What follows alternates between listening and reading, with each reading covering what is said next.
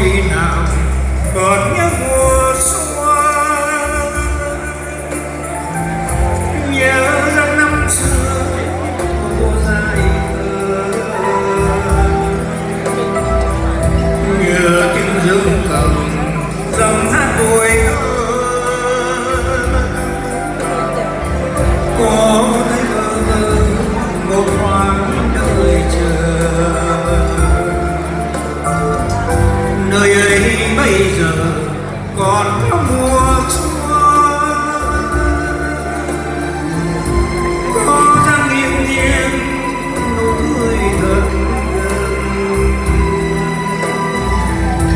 có anh ai vàng nơi sáng tình xanh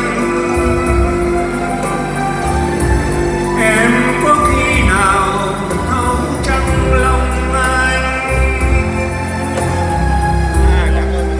trời Sài Gòn chiều hôm nay còn nhiều mây bay niềm đau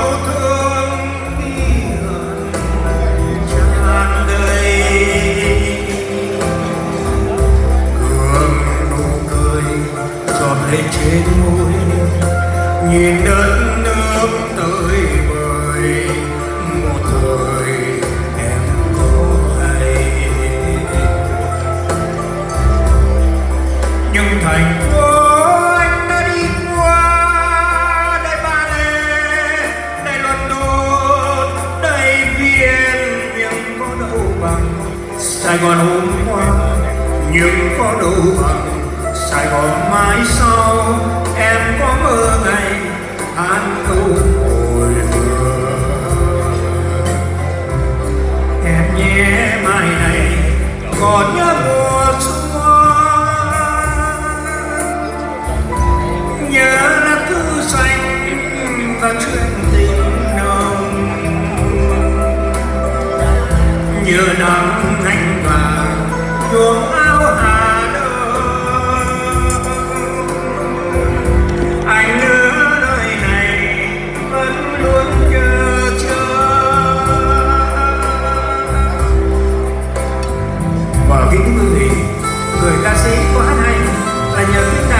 nhạc sĩ.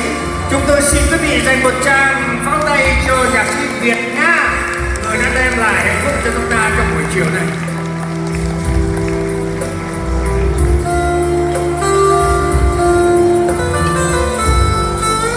Thank you, Thank you.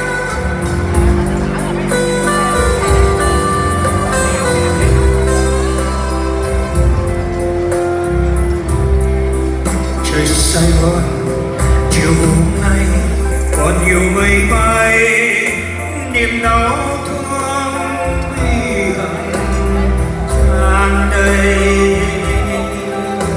Gương nụ cười giọt lệ trên môi, nhìn đất nước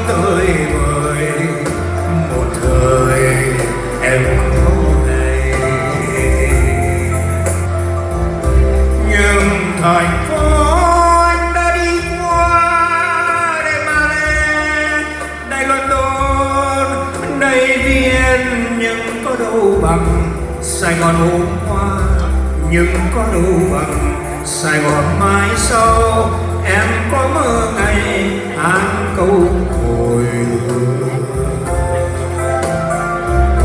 Em nhé mai này, còn nhớ mùa xuân. Nhớ là thư xanh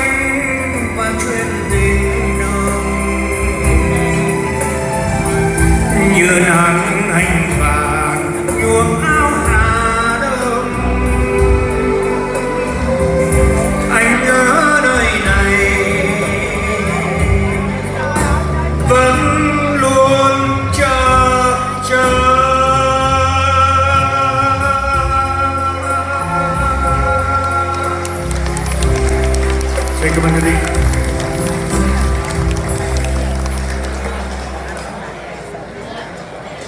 Và bây giờ sẽ nói tới Đà là nơi các tài là cựu sinh viên Việt Nam trường họ của quốc gia Việt Nam xuất thân.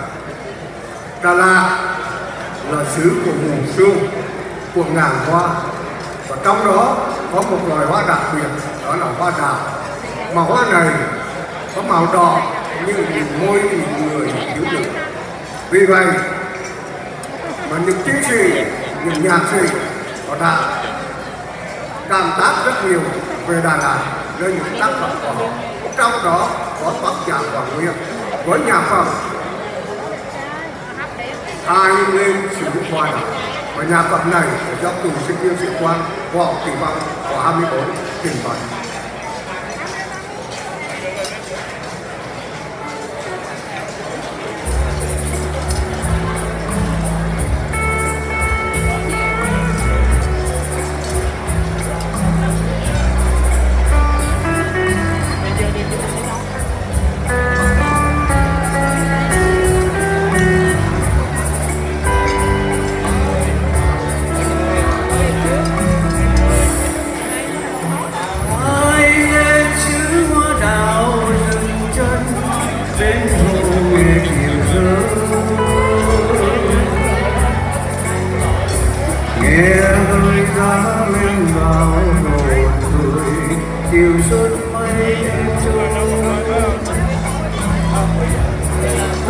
thông đêm bên suối vắng lời nhiều lần như tiếng xuân đi trong mắt em.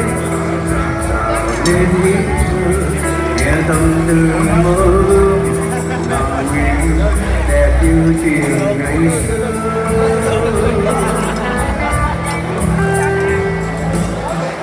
Ai lên xứ hoa đào đừng quên, bước ngăn theo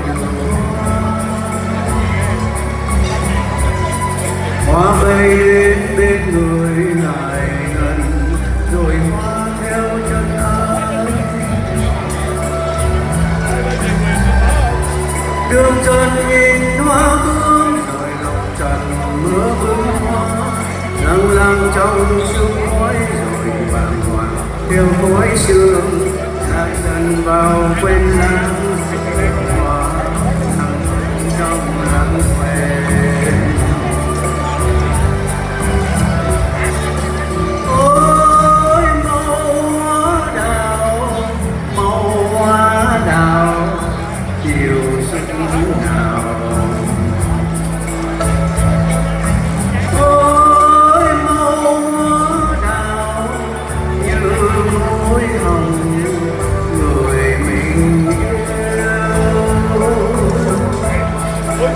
Ôi màu hoa đã bao lần vì màu hoa mà lưu anh lắng hồn thơ dừng chân lắng du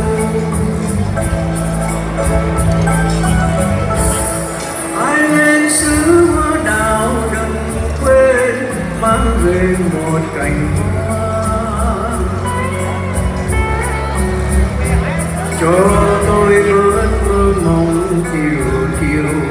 nhìn mây trôi xa xa.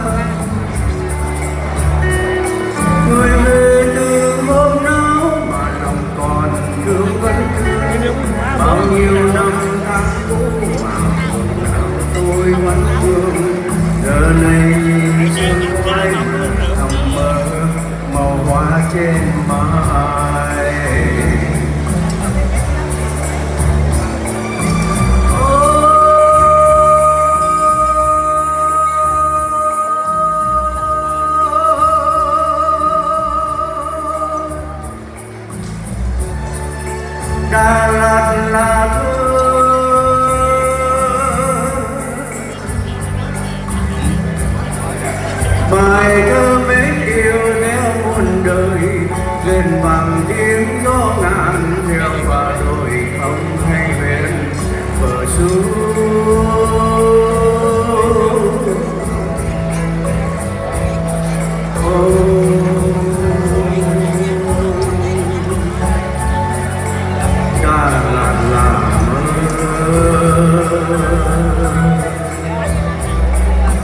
giấc mơ tiên nữ dáng xuống trần tóc mây buồn lời ca ước bên đời tình quân đến trong giấc mơ nhưng rồi mùa hoa tàn người hoa sao vắng